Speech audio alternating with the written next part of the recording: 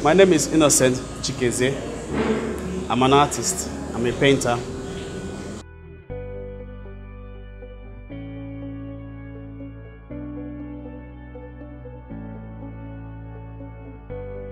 Ignite is about reviving my passion in art, rekindle the fire that burns in me, that creative fire, the energy that makes you wake up every morning to do something creative.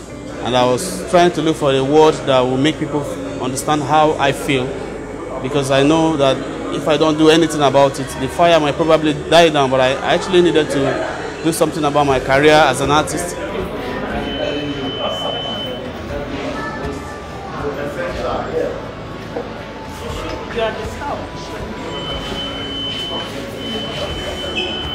So I stand uh,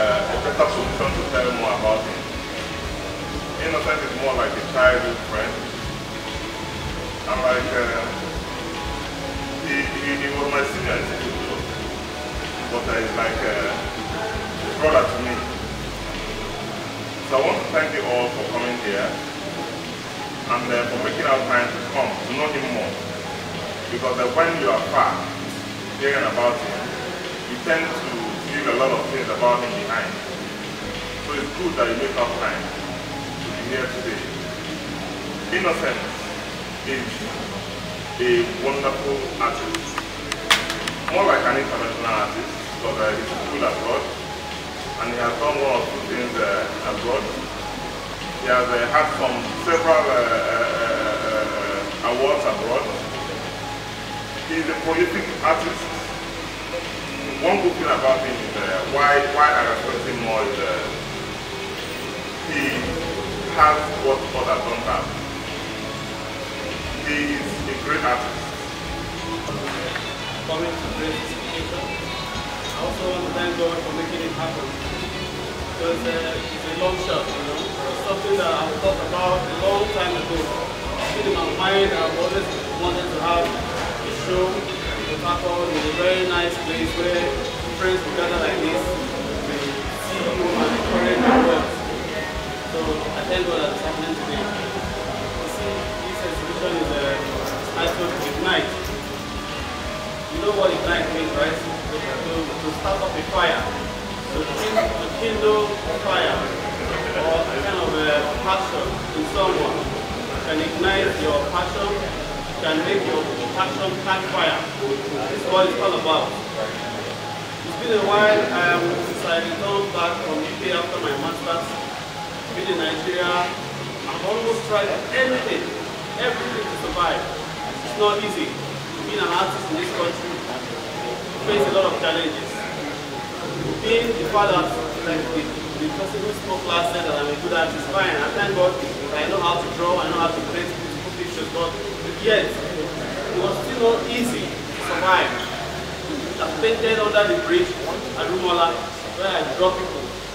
I've gone along the road, I've tried to sell, put art on the street, I've done all kinds of things, you know, trying to, after a while, you know, the fire in me started going down.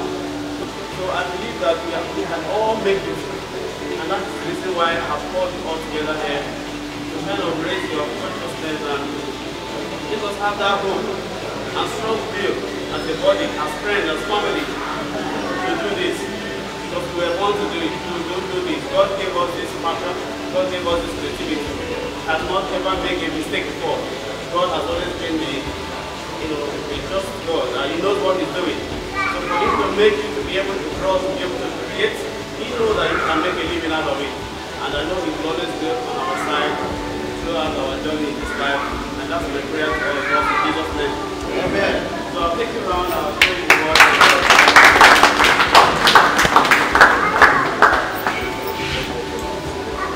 I had a, a master's degree in Nottingham Trent University.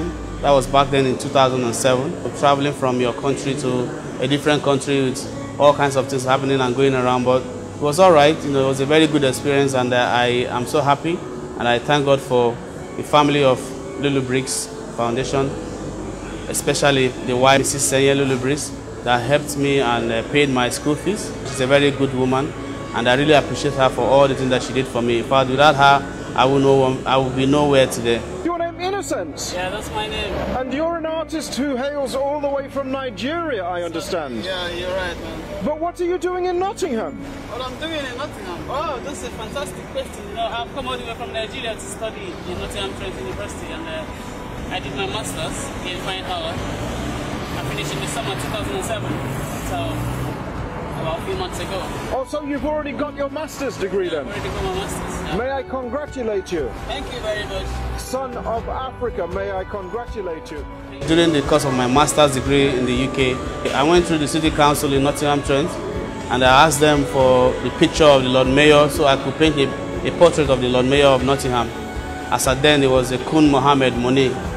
So I painted his portrait and the interesting thing about the portrait was that I, I put the background of my village right behind the portrait as part of the painting, you know, kind of expressing how I feel now that I'm, I'm no longer in the village, but I'm now here in, in the UK. The community of Hyson Green sent out memos to all artists in the universities to co contest for an art competition in Nottingham. So it was very interesting time and I featured in that competition, but I came second. So the guy who came first, his name is Richard Pops. He invited me to work with him so we had this long stretch mural. There were other people too who worked, who participated in that mural. It was, it was a very interesting thing that took us about three weeks or so. And we did a very long stretch mural titled One Love in front of the New Art Exchange in Hyson Green in Nottingham. That was back then in 2008, which was a very, very good experience for me. I was featured in the newspaper in Nottingham. I was invited by the BBC to talk about the Lord Mayor's portrait.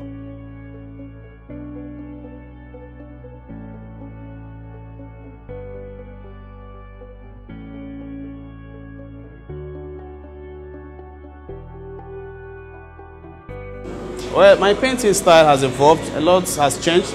I'm beginning to experiment more. I'm beginning to express freedom in my painting. I'm no more restricted by all kinds of things that I used to do before. But right now, I'm expressing myself more vigorously and you know more clearly without any restrictions. I play with acrylics, oil, and all kinds of mixed media material that I can lay my hands on.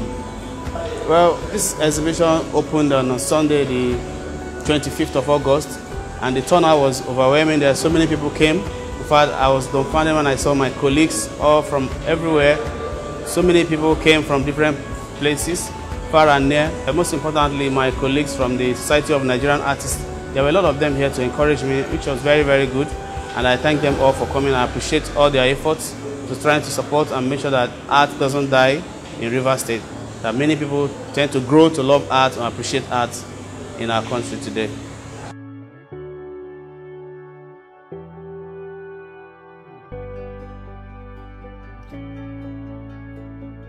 This particular art piece, which I titled Ignite, it's about a man, a naked man sitting on top of what looks like a, a Holy Bible. But it's not actually a Holy Bible because the word Bible was turned upside down. So right now, I feel I've been ignited by this exhibition. I feel the fire is burning high, and I know that I have to do something very big. I want to do a bigger art exhibition, probably in a very big city either Lagos or Abuja or outside Nigeria as the case may be. There were a lot of friends and families who did one thing or the other to encourage me to continue to work hard, to continue to polish my career and to continue to stand firm as an artist. I worked with companies like Expert Paint Company. They sponsored my program by supporting me with some paint materials I also work with the, the Parks Academy. Most importantly, I want to thank my wife who has been there with me in these hard times, trying to encourage me, making sure that I don't give up, that everything goes according to plan. I would like to tell the young people out there not to rely on anybody to help them. They should you know, look inwards and look at themselves very well and find out the strength within and move on with life, you know, and never give up, but only to strive harder to be a better person because it is possible. If I can do it, I'm sure they can do it too.